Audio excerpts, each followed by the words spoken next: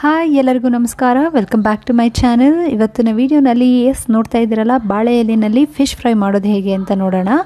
ಇದು ಬಂದು ಕೇರಳ ಸ್ಟೈಲ್ ಕೇರಳದಲ್ಲಿ ಕರಿಮೀನ್ ಪೊಲಿಚಾಟು ಅಂತ ಕರೀತಾರೆ ಅಂತ ಅನಿಸುತ್ತೆ. ರಾಂಗಾಗಿ ಪ್ರೊನೌನ್ಸ್ ಮಾಡಿದರೆ ಪ್ಲೀಸ್ ಏನು ಅನ್ಕೊಂಬೇಡಿ. ಸೊ ಇಲ್ಲಿ ನೋಡ್ತಾ ಇದ್ದೀರಲ್ಲ ಸೊ ಇದನ್ನು ಬಾಳೆ ಎಲೆಯಲ್ಲಿ ನಾವು ಮಾಡೋದ್ರಿಂದ ಒಂದು ಒಳ್ಳೆ ಟೇಸ್ಟ್ ಬರುತ್ತೆ. ಆ ಬಾಳೆ ಎಲೆ ಫ್ಲೇವರ್ ಕೂಡ ಬರುತ್ತೆ ಮೀನಿಗೆ, ತುಂಬ ಚೆನ್ನಾಗಿರುತ್ತೆ. ಸೊ ಇಲ್ಲಿ ನಾನು ಕರಿ ಮೀನು ತೊಗೊಂಡಿದ್ದೀನಿ. ಇದು ಕೇರಳ ಸ್ಪೆಷಲ್ ಮೀನಿದು ಕರಿ ಇದೆ ಇದನ್ನು ನಾನು ಮಧ್ಯದಲ್ಲಿ ಕಟ್ ಮಾಡಿ ಕೂಡ ಇಟ್ಕೊಂಡಿದ್ದೀನಿ ಸ್ವಲ್ಪ ಅರ್ಶಿನದ ಪುಡಿ ಮತ್ತು ಕಲ್ಲುಪ್ಪನ್ನು ತೊಗೊಂಡು ಅದನ್ನು ನಾನು ಇವಾಗ ಮೀನು ಮೇಲೆ ಈ ಥರ ರಬ್ ಮಾಡಿ, ನೀಟಾಗಿ ವಾಶ್ ಮಾಡಿ ತೆಗೆದಿಟ್ಕೊತಾ ಇದ್ದೀನಿ ಸೊ ಆಲ್ರೆಡಿ ಶಾಪಲ್ಲಿ ಕ್ಲೀನ್ ಮಾಡಿ ಕೊಟ್ಟಿರ್ತಾರೆ ನಿಮಗೆ ಬಟ್ ಮನೆಯಲ್ಲಿ ನೀವು ಒಂದು ಸತಿ ಕ್ಲೀನ್ ಮಾಡೋದ್ರಿಂದ ನಮಗೊಂಥರ ಸ್ಯಾಟಿಸ್ಫ್ಯಾಕ್ಷನ್ ಓಕೆ ಸೊ ಇವಾಗ ಎಲ್ಲ ರೀತಿಯಾಗಿ ನನ್ನ ಎಲ್ಲ ಫಿಶ್ನನ್ನು ಕೂಡ ಇದೇ ರೀತಿ ನೀಟಾಗಿ ವಾಶ್ ಮಾಡಿ ಅದಕ್ಕೆ ಅರ್ಶಿನದ ಪುಡಿನ ಹಾಕಿ ವಾಶ್ ಮಾಡಿ ಸೈಡ್ನಲ್ಲಿ ತೆಗೆದಿಟ್ಕೊತಾ ಇದ್ದೀನಿ.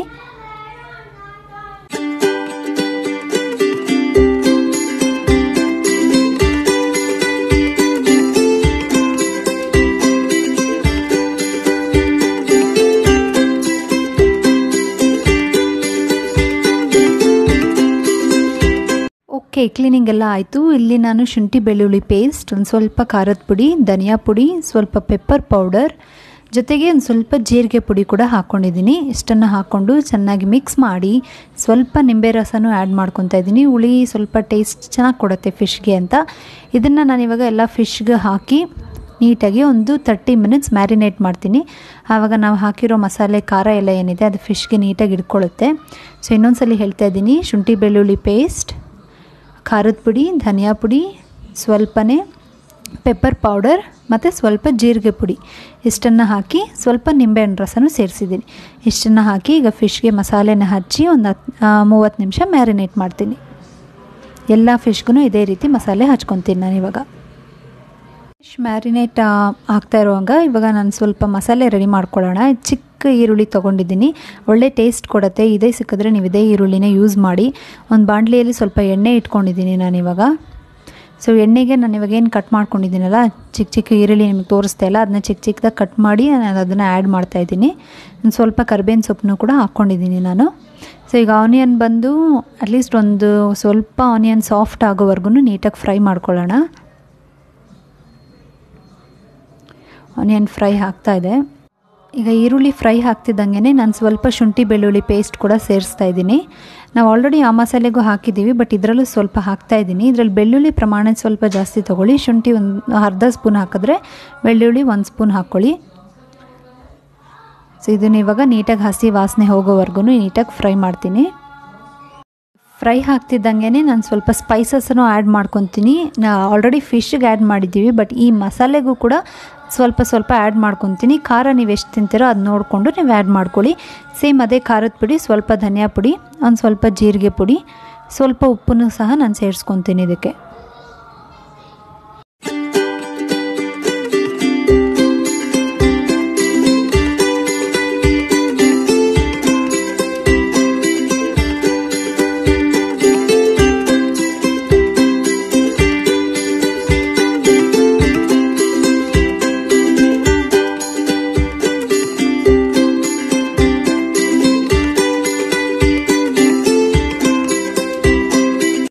ಫ್ರೈ ಆಗಿರೋಂಥ ಮಸಾಲೆಗೆ ಸ್ವಲ್ಪ ಟೊಮೆಟೊ ಹಣ್ಣು ಸೇರಿಸ್ತಾ ಇದ್ದೀನಿ. ಚಿಕ್ಕ ಚಿಕ್ಕದಾಗಿ ಕಟ್ ಮಾಡಿ ಇಟ್ಕೊಂಡಿದ್ದೀನಿ. ಟೊಮೆಟೊ ಸಾಫ್ಟ್ ಆಗೋವರೆಗೂ ಈಗ ಫ್ರೈ ಮಾಡ್ತೀನಿ ಹೀಗೆ ಬಾಣಲಿಯಲ್ಲೇ.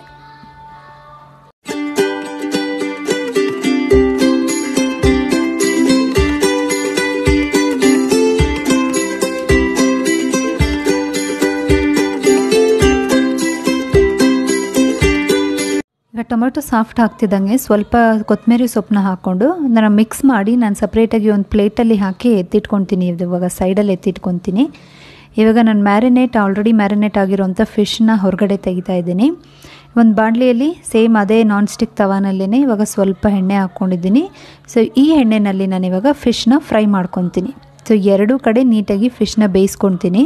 ಸೊ ಎಣ್ಣೆ ಸ್ವಲ್ಪ ಕಾದ್ಮೇಲೆ ಹಾಕಿ ಫಿಶ್ ಸೊ ಫಿಶ್ನ ಹಾಕಿ ಎರಡೂ ಕಡೆ ನೀಟಾಗಿ ಫ್ರೈ ಮಾಡ್ಕೊತೀನಿ.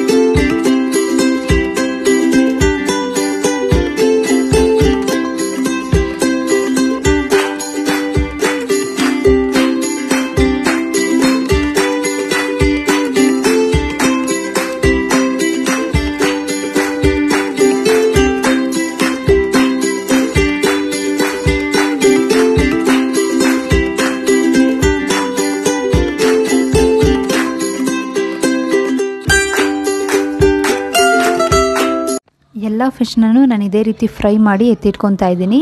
ಇಲ್ಲಿ ನಾನು ಎರಡು ದೊಡ್ಡ ಬಾಳೆ ಎಲೆ ತೊಗೊಂಡಿದ್ದೀನಿ. ಈ ಬಾಳೆ ಎಲೆನ ರೆಡಿ ಮಾಡ್ಕೊಳ್ಳೋಣ ಇವಾಗ. ಬಾಳೆ ಎಲೆನ ನಾನು ಚಿಕ್ಕ ಚಿಕ್ಕದಾಗಿ ಕಟ್ ಮಾಡಿ ಇಟ್ಕೊತೀನಿ. ಸೊ ಎಲ್ಲ ಬಾಳೆದೆಲೆನೂ ಒಂದೇ ಸೈಜಲ್ಲಿ ಕಟ್ ಮಾಡಿ ಸಪ್ರೇಟಾಗಿ ಎತ್ತಿಡ್ತಾ ಇದ್ದೀನಿ ಇಲ್ಲಿ. ಇಲ್ಲಿ ಆಲ್ರೆಡಿ ಫಿಶ್ ಫ್ರೈ ಕೂಡ ರೆಡಿಯಾಗಿದೆ ಆ ಫ್ರೈನ ನಾನು ಸಪ್ರೇಟಾಗಿ ತೆಗೆದಿಟ್ಟಿದ್ದೀನಿ.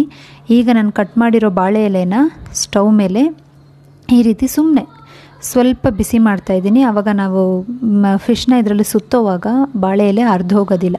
ಅದರಿಂದ ಈ ರೀತಿಯಾಗಿ ಮಾಡ್ಕೊತಾ ಇದ್ದೀನಿ. ಫಿಶ್ ನೋಡಿ ಎಲ್ಲ ಫಿಶ್ ರೆಡಿಯಾಗಿದೆ ಈಗ ಈ ಸೈಡ್ ಬಾಳೆದೆಲೆನೂ ಕೂಡ ರೆಡಿ ಆಗ್ತಾ ಇದೆ. ಒಳಗಡೆ ಹಾಕೋ ಮಸಾಲೆನೂ ಕೂಡ ರೆಡಿಯಾಗಿದೆ ಇವಾಗ ಏನಿಲ್ಲ, ಇದನ್ನು ನಾವು ನೀಟಾಗಿ ಬಾಳೆದೆಲೆನಲ್ಲಿ ಸುತ್ತಿ, ಕಟ್ಟಿ ಇನ್ನೊಂದು ಸರ್ತಿ ಫ್ರೈ ಮಾಡೋದು ಅಷ್ಟೇ ಬಾಕಿ. ಸೊ ಇಲ್ಲಿ ನಾನು ಬಾಳೆ ಎಲೆನಲ್ಲಿ ಫಸ್ಟ್ ನಾನು ಮಸಾಲೆ ಮಾಡಿ ಇಟ್ಕೊಂಡಿರೋಂತಹ ಮಸಾಲೆ, ಆ ಟೊಮೆಟೊ, ಈರುಳ್ಳಿ ಮಸಾಲೆ ಏನಿದೆ ಅದನ್ನು ಹಾಕ್ಕೊಂಡು ಅದ್ರ ಮೇಲೆ ಒಂದು ಫಿಶ್ನ ಇಡ್ತಾಯಿದ್ದೀನಿ ಮತ್ತು ಆ ಫಿಶ್ ಮೇಲೆ ಮತ್ತೆ ನಾನು ಏನು ಮಾಡಿದ್ದೀನಿ ಮಸಾಲೆ, ಆ ಮಸಾಲೆನ ಸ್ಪ್ರೆಡ್ ಮಾಡಿಕೊಂಡು ಇದನ್ನು ನೀಟಾಗಿ ಇವಾಗ ನಾನು ಫೋಲ್ಡ್ ಮಾಡಿ ಅದಕ್ಕೆ ದಾರದಲ್ಲಿ ಸುತ್ತುತ್ತಾ ಇದ್ದೀನಿ. ಈ ದಾರನ ನಾನು ಒಂದು ಐದರಿಂದ ಹತ್ತು ನಿಮಿಷ ನೀರಲ್ಲಿ ನೆನೆಸಿ ಇಟ್ಟು ಆಮೇಲೆ ಆ ದಾರ ಕಟ್ತಾ ಇದ್ದೀನಿ. ನೀಟಾಗಿ ಕಟ್ಕೊಂಡು ಎಲ್ಲ ಫಿಶ್ನೂ ಇದೇ ರೀತಿ ಕಟ್ಟಿ ರೆಡಿ ಮಾಡಿ ಇಟ್ಕೊತಾ ಇದ್ದೀನಿ.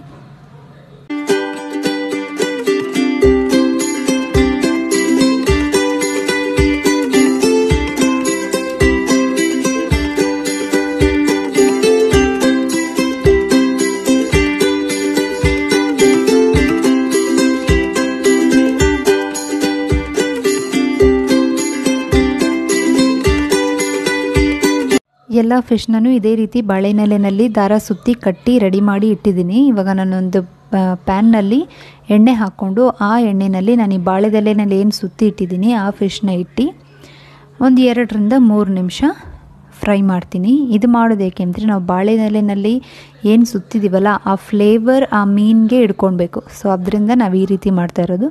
ತುಂಬ ಚೆನ್ನಾಗಿರುತ್ತೆ ಫ್ರೆಂಡ್ಸ್ ನೀವು ಮನೆಯಲ್ಲಿ ಒಂದು ಸತಿ ಟ್ರೈ ಮಾಡಿ ಹೇಗಿದೆ ಅಂತ ಕಮೆಂಟ್ ಮಾಡೋದನ್ನು ಬರಿಬೇಡಿ. ಕೇರಳದಲ್ಲಿ ತುಂಬ ಒಳ್ಳೆ ಸ್ಪೆಷಲ್ ಏನೋ ಡಿಶ್ ಇದು. ಕೇರಳ ಸ್ಟೈಲ್ ಬಾಳೆ ಎಲೆ ಫಿಶ್ ಫ್ರೈ ಟ್ರೈ ಮಾಡಿ ಹೇಗಿದೆ ಅಂತ ಕಮೆಂಟ್ ಮಾಡೋದನ್ನು ಬರಿಬೇಡಿ. ಈ ವಿಡಿಯೋ ನಿಮಗೆ ಇಷ್ಟ ಆಗಿದರೆ ಲೈಕ್ ಮಾಡಿ ಶೇರ್ ಮಾಡಿ. ಮತ್ತು ನನ್ನ ಚಾನಲ್ಗೆ ಸಬ್ಸ್ಕ್ರೈಬ್ ಆಗೋದನ್ನು ಮರಿಬೇಡಿ. ಸೊ ಇವಾಗೆಲ್ಲ ಫಿಶ್ ರೆಡಿಯಾಗಿದೆ ನಾನು ಇದನ್ನು ನಿಮಗೆ ಫ್ರೈ ಆದಮೇಲೆ ಯಾವ ರೀತಿ ಇದೆ ಅಂತ ಟೇಸ್ಟ್ ಮಾಡಿ ಹೇಳ್ತೀನಿ.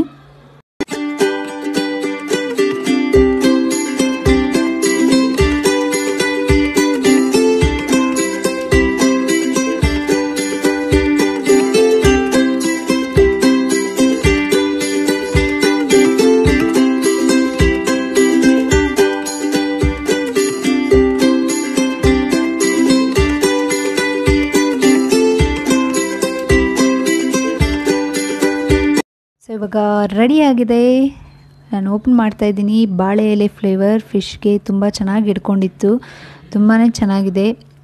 ನೀವು ಒಂದು ಸತಿ ಟ್ರೈ ಮಾಡಿ. ನಾನು ಹೇಳ್ದಾಗೆ ಬಾಳೆ ಎಲೆ ಫ್ಲೇವರ್ ಒಂದು ಬೇರೆಯೇ ಟೇಸ್ಟ್ ಕೊಡುತ್ತೆ. ನೀವು ನಾರ್ಮಲ್ ಫಿಶ್ ತಿನ್ನೋಂಗೆ ಅನಿಸೋದೇ ಇಲ್ಲ. ತುಂಬ ಡಿಫ್ರೆಂಟಾಗಿರುತ್ತೆ ಟೇಸ್ಟ್ ಸೊ ಜೊತೆಗೆ ಈರುಳ್ಳಿ ನೆಂಚ್ಕೊಂಡು ತಿಂತಾ ಇದ್ರೆ ಸಕ್ಕತ್ತಾಗಿರುತ್ತೆ thank you so much for watching this video try ಮಾಡಿ ಹೇಗಿದೆ ಅಂತ ಕಮೆಂಟ್ ಮಾಡೋದನ್ನು ಮರಿಬೇಡಿ thank you I meet you all in the next video bye bye